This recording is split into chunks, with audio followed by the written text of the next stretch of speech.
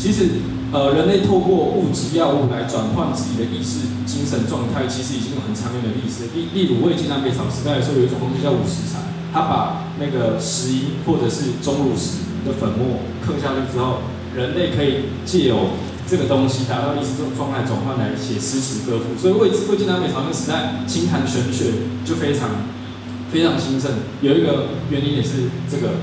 也也就是东方的嬉皮时代，可以这样理解。还有中南美洲的古盖古，这个也是有很长远的历史。所以人类跨越历史疆界，其实是一个长期被污名化的一个精神管道。我们应该要正视这这个行为。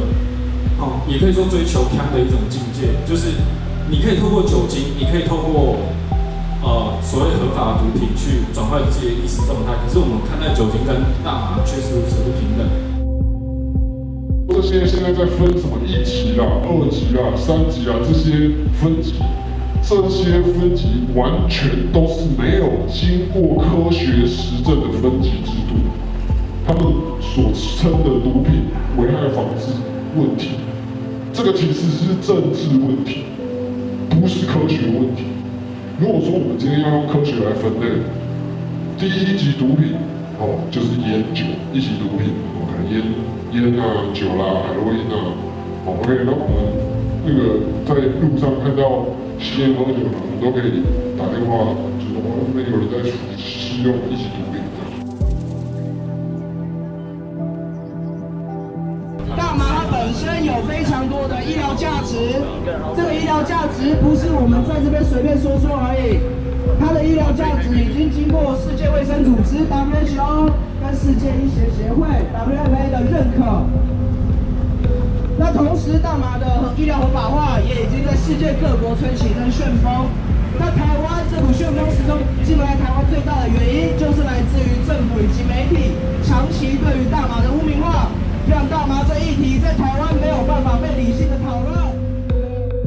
语言的极限就是世界的疆界。如果没有事物能够借由文字或语言正确表达，那么就不能进行相关概念的思考。好，所以统治者可以借由减少或精神制制止的数目，可以缩窄人民思想的范围。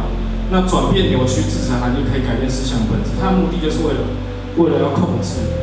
它明明在国外已经是用作医疗用药物的很多情况了。那我们台湾人之所以会被限制住，就是很大一个原因，就是翻译成毒品的时候，人民的思考就会某种程度上已经被限缩在毒品范围里面。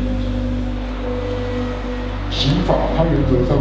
只能处罚侵害他人利益的行为，像是杀人啊、伤人啊，或者是你偷人家东西。所以处罚使用非法药物使用者这件事情，其实是非常有问题的。因为在法律上，基本上国家应该限缩自己的权利到尽量非必要，绝不以法律来侵害人民的权益。那这个其实你自己伤害自己。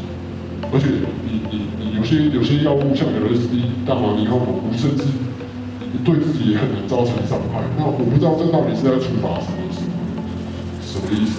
对，这其实就是一种加入管束。